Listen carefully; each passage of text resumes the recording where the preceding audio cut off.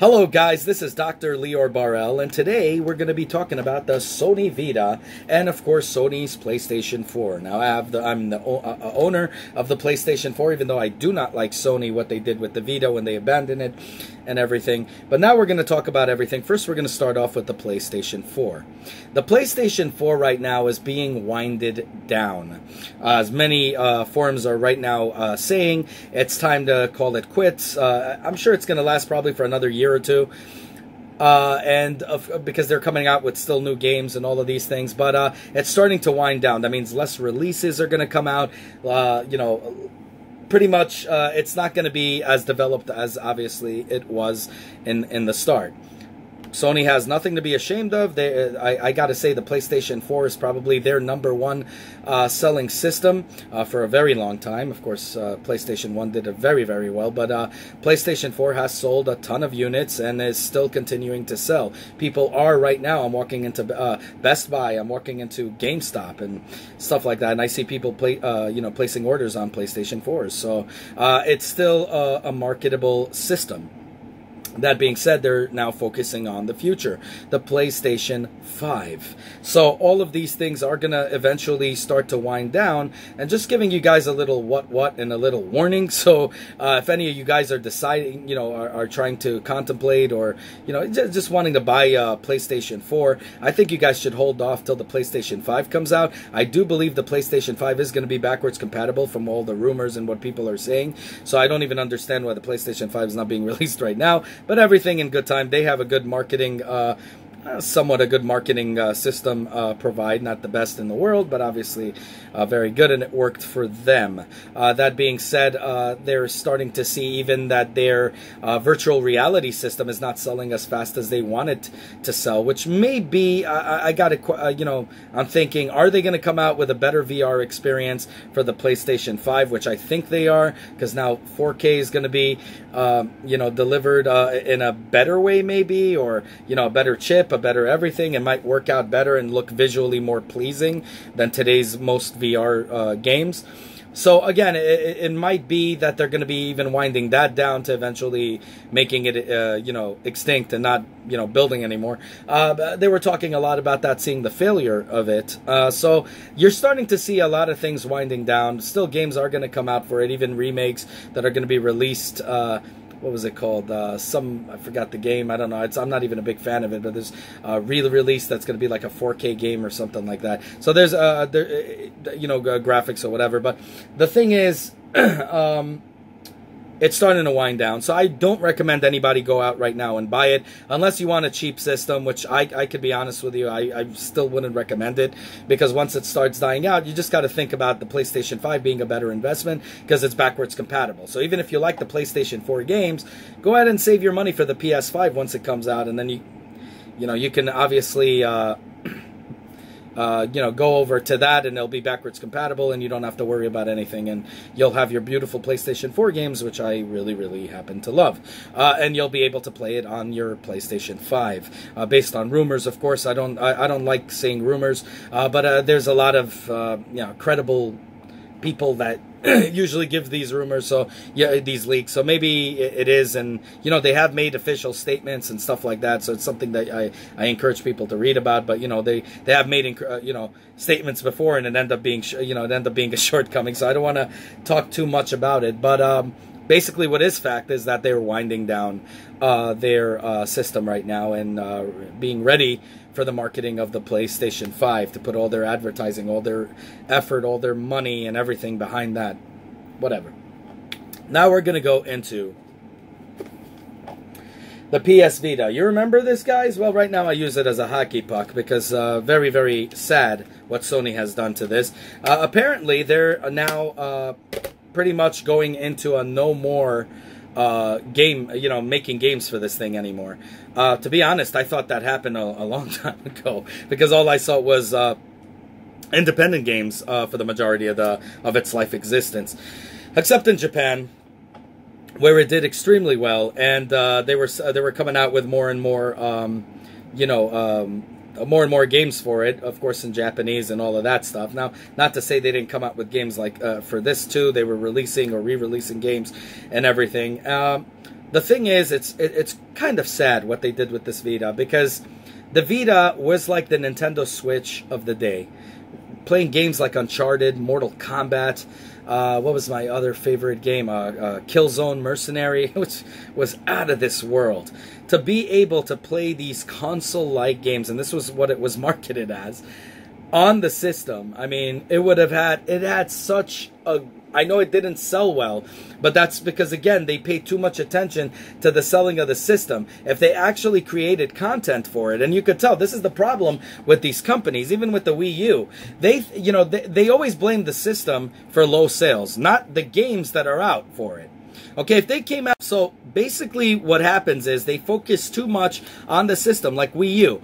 They don't focus on the content that's released for the system. They don't understand that if they release a good amount of games that are pleasing to the eye and to your consumers, they're going to be going out and out of their way and buying it. And you could clearly see that when when uh, what do you call it? Uh, Nintendo 64 came out, and then you know you had the Dreamcast. Oh, sorry, when the Dreamcast came out, and then you had the the PlayStation 2 come out, and everybody went to the PlayStation 2 because they released more games than the Dreamcast did, and so on and so forth. When there is content, you're gonna have people buying the system.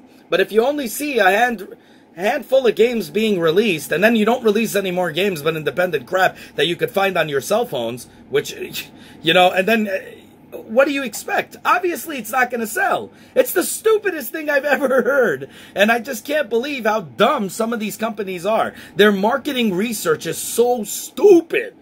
It's just unbelievable how stupid it is that it pisses me off completely. And Sony, I mean, this thing, look at the form factor. Look at the resolution on this baby. It was amazing. Even this back, you know, gimmicky crap was fucking awesome. You know, everything was great. But to, to then abandon it and just say, we're done, and then give a, give a lame excuse in your conference and say, um, you know uh, they have all the games already on the on the uh, cell phones and blah blah blah. Uh, yeah because you're releasing independent games that you charge 60 bucks for. Uh, you know you had these independent guys marketing their games for 30 60 and then they lowered it of course because nobody wanted anything to do with it. But that they were the only ones releasing that. You can't say that and and they're not honest because they know they're not that stupid. They're stupid but not that stupid. They know exactly that they weren't releasing games. They weren't putting their money behind it. I don't know why. Maybe they wanted to their PlayStation 3 to sell better. I, I don't know what the hell they were thinking, but it was the dumbest thing they could have ever did was to abandon this. This thing has so much, so much potential, and I hope the hacking community takes full advantage of it and somehow gets PlayStation 2 games to be running on this because I, I love this system. I used to love it. I have every game that was ever out for it in that time. You know, from Uncharted to you know all, going all the way. Even God of War, I had the the re-release of it of all the all of the uh, games for it. I have every freaking game almost that I love on this damn thing. Okay, then of course I don't buy the Japanese games because I don't understand what they're saying, and I want a, a game that I can understand. One day, hopefully, I I'll understand Japanese. It's a beautiful language and want to learn it one day. But the thing is, it that's what happened. And now they're, they're making an announcement. Oh, guys, uh, we're uh, pretty much very soon going to be stopping uh, developing for this thing. Gee, well, I never knew you, you even developed for it, to be honest with you. You abandoned this system, and you guys should be ashamed of yourself. This is why I never trust Sony anymore. That's why I didn't even want to get a PlayStation 4. But the thing is, I got it as a gift, and I love my PlayStation 4. And I love Sony. I just don't like what they did. I was really pissed off that they I lost my trust in them. They marketed this as a console on the road, pretty much like the Nintendo did with the Switch, except Nintendo was honest. It is actually a console on the go. This thing was supposed to be the same. You could take it on the go. It was great. Then they had these stupid things where you're releasing uh, games that could be streamed, and of course they didn't have uh, good servers that were serving these games. And even with the best connection in the world, it looked like crap because it kept lagging. They could have re-released PlayStation 2 games for this easy and made money. They could have even abandoned this. They could have abandoned it and said, you know what? All we're going to focus on now, because we're abandoning it, let the independents, the indies make their games that you could get on the phone for free. Let them do whatever the heck it is. But you know what? We're going to come out with an, a way that you could play PlayStation 2 games on it. I mean, how many of us would love to play uh, the old, uh, you know, uh, Shut Your Mouth on this thing, or Here Comes the Pain, which is better than 2K18 on the Switch, because obviously the Switch uh, version is crap. Uh, so how many of us would love to play that on the go? I would freaking adore that eh, on the go, and it would be amazing to have these games in your hand and, and play it. Okay, I haven't played this in a while, like in about a year, but I, I have played it, even though no new games have came out with it. Even uh, just once I got the Switch, I pretty much didn't care anymore because there wasn't any new games, and I played the crap out of all the games here. And it's just really sad that something of this potential can just be so overlooked and thrown away, and then they give such a stupid, ex stupid excuse. It's not even stupid; it's a stupid excuse because you could tell how dumb they were for doing that, and and then saying uh, all the games are you know games right now are released on the phone. There's a difference between console games and phone games. Nintendo wasn't that stupid. They understood that. That's why their 3DS it did so freaking well and blew the competition out of the water. Again, why did the 3DS win? And I have a 3DS system here too. Where the hell is that damn thing? I stopped playing that too. Because uh, once the Switch came out, there was no uh, no real need for me to go whatever. But you guys can see in my past episodes, I actually reviewed it. Uh, I also have a lot of games for that. But why did the the 3DS actually succeed? The 3DS succeeded because it had a huge library of games. So when people had to decide between a PlayStation Vita that claimed it was a console on the go, which was amazing and the technology is great, but then the consumer is like, well, wait a second, all the games I love is on the Nintendo uh, 3DS. Why the hell would I get this crap? and they go for the 3DS. Now, if they had a bunch of games, like when they came out with Uncharted, that was the sole damn reason I bought the Vita. when they came out with Kill uh, uh, Killzone Mercenaries, I was looking at it and I was like, I couldn't believe it. Right on the go to play that game, and boom, I went ahead and said, you know what, this is the time, and I got it. And I was a little bit of a late adopter of this, obviously, uh, by one year about because uh, you know I, I, wanted to see what other games they came out with and all of those cool things. But when I saw it, I mean, even here I have more games than this, obviously. To play uh, Final Fantasy uh, 10 on, on, the go, or Tekken versus Street Fighter, uh, to play Injustice, and of course Mortal Kombat and a bunch of other games that I have. It's so sad that they abandoned it, and now they're actually coming out with uh, thing saying, "Hey guys, well we're basically not producing any more games for it." You never produced it in the first place, you idiots. Very, and if you did, you did really rarely and only in Japan. And a few games here and there came out for this, which were, you know, wasn't really an honorable even mention.